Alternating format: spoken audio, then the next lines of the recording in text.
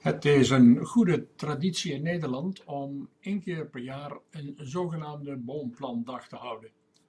Dat is uh, een dag waarop met name schoolkinderen worden gewezen op het belang van bomen.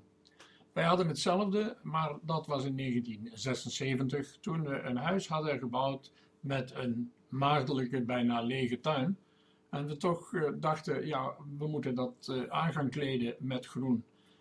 We hebben toen gevraagd aan onze ouders of ze bereid waren om ieder een boom te doneren die ze dan ook zelf zouden mogen planten. Was een mooi idee, mestsneed aan twee kanten. Op deze manier kon je ter nagedachtenis of ter herinnering aan de ouders terugkijken op een boom. En die hadden ze dan ook zelf geplant. En ja, wat natuurlijk dan toch ook wel weer van belang was voor een jong gezin, ze hadden die boom ook zelf betaald. En bovendien ook nog zelf het gat gegraven. En al met al was dat een mooie ja, happening. En tegelijkertijd een reuze vondst om de tuin wat meer aanzicht te geven. Ja, en al over de gehele wereld is het belang van bomenplanten natuurlijk enorm groot.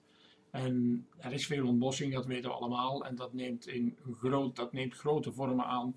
Dus we moeten alles doen wat mogelijk is om te proberen zoveel mogelijk groen te bewaren. Niet alleen hier in Nederland, waar toch wel bijzonder veel aandacht uh, bestaat voor uh, het behoud van de natuur, maar er zijn natuurlijk uh, de landen waarin de economie nog wat op een, een lager pitje staat en men nog moet groeien en veel wil groeien en ook eigenlijk weinig oog heeft nog voor het bewaren van de natuur. Daar worden grote gebieden ontbost en we kunnen daar weinig aan doen. Het enige wat we kunnen doen is de mensen daar te wijzen op het belang van het behoud van voldoende bossen als je bossen rooit of laten we zeggen hout, hout oogst, dat is geen probleem. Maar zorg dan dat alles wat je kapt, dat je dat ook als dat kan weer opnieuw inplant. Zodat het totale oppervlakte bos ongeveer gelijk kan blijven. We kunnen natuurlijk de bevolkingsdruk niet ontkennen. En op een bepaald moment zal gewoon ja, het belang van de mens voorgaan op het belang van de natuur. Dat is nu eenmaal zo.